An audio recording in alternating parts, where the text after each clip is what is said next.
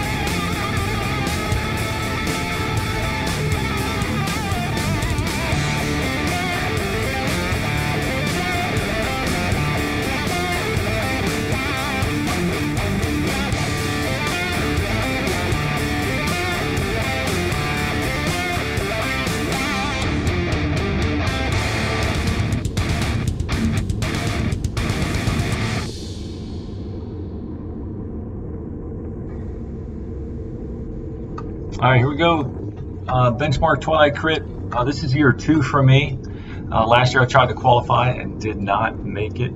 Um, this year definitely uh, felt more prepared and been racing a bunch. I think I put in like 30 races so far this year and love the course um, and definitely stayed up front at the uh, point of the spear as much as possible. So going through that chicane, um, it's usually single file for us, so that's a benefit, and you don't have to uh, follow um, a bunch of um, dudes side by side uh, through that chicane, and then coming up that hill. It's nice to be towards the front because then um, everybody's pretty much keeping the same pace. When you get back to the group, you know, uh, behind the first third, then it starts getting bunchy and people are slowing down, braking, accelerating, and it's a mess. So here comes nine to go, and um, that's Kurt Dodds there. And uh, Kurt, um, great racing with you, dude. Um, I noticed that I, I believe, yep, you won on Sunday at the main line, uh, crit. So nice job. And I know you're going to get frustrated at me a couple times because I'm not like pulling through as hard as you would like me to on the um, mini breaks or the trying to get separation. Uh, but in the back of my mind, I knew I was doing the amateur final later on tonight or later on that night, and definitely was uh, not ready to just like go all out and full gas it. Um, tried to save some wattage for the PM show, and uh, so yeah, but it was awesome racing with you you're strong and smart, and so I knew um, I, I, wanted to follow you as much as I could. Um, here it is coming up this hill, and uh, this was a good punch. So a couple times, um, and, and notice what Kurt does. I mean, he's constantly aware. You know, he's looking for me, he's looking for the group, and this is where I think he raises his hand, like, "Come on, dude." and I hear you, man. Um, I was just trying to save some. All, all I needed, of course, was top 20 uh, to make it to the finals. And I noticed in the 2-3 that um, there was 30 slots available for qualifying, and everybody qualified. And yep, there were some sandbaggers in the 2-3. Great strategy. I should I should have probably hopped in the 2-3 and done the same thing. Um, but it's all good. Um, it's racing, right? Um, I will put together the uh, uh short video for the time that I spent in the PM finale. All right, so there goes Super Dave, and of course everybody knows Super Dave. And then, sure enough, um, being super aware, um, Kurt grabs his wheel too. So, uh, what was it? What was that? Eight to go now, I think. And you could almost run a straight line through that chicane and keep pedaling um, it really wasn't um, too difficult to do that. And Super Dave ended up, I think, taking second in the mainline crit the next day too. So uh, Super Dave, nice job. Always great racing with you too. Um, and so, yep, these guys kick it up to the left. Um, and we're going to start to accelerate to catch on. And then Kurt's going to start looking back and see what we've got. Um, he's probably trying to drop me along with everybody else. Um, totally understand it. Um, so, but uh, let's see, we got one, two, three, four, five, me, six, and I think there was one guy behind me for seven. And then there was a pretty uh, decent gap. It was probably only like uh, four or five seconds, but um, no one cut, you know, you can see we're slowing down to zero watts and um, the guy up front pulls off and we're still doing 29, 30, 31 and you know, with enough effort, we probably could have, um, I think what happens here is we get up and over the hill and I think we still had separation. So I think we're trying to, I think right here, this is where um, Kurt saying, let's go, and I'm saying, yeah, let's go.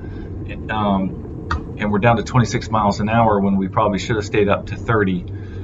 And coming up this hill, we're still going to push it almost 800 watts. And then I think by the time we look over our shoulders um, around this left hand turn, I think the group is starting to catch on to us. And um, I'm trying to pull through, and I didn't know which side Kurt wanted me to pull on. Yes, he threw the left elbow, um, but I was kind of um, looking over my shoulder, Kurt, so I'm sorry. Bad timing. And then, yeah, the, the group was on us. So, um,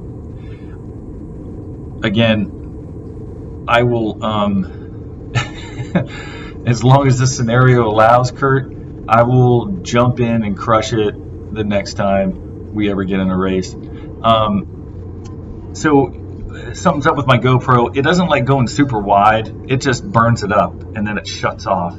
So I'm going to lose footage here. I started it late so it wouldn't overheat, but I think that's what's going on. I got to get a new camera. I do not want to lose out on, of course, the finish. So unfortunately, there is no finish for me um, for here uh, for this video. Um, but guys, it was great racing with you, and uh, congrats on the mainline crit.